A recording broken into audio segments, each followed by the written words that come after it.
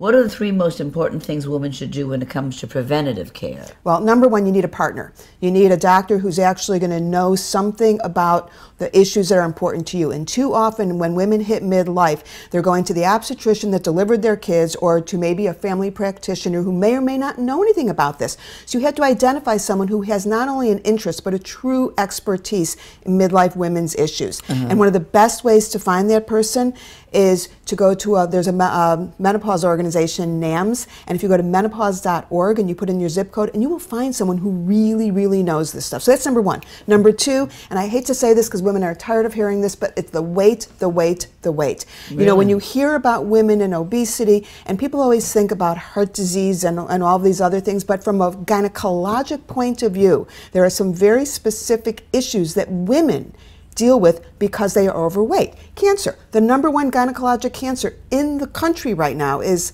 no one ever guesses this right. Uterine cancer, number one, directly related to obesity. Really? Breast cancer, related to obesity. Incontinence, just to return to that, Right. related to obesity.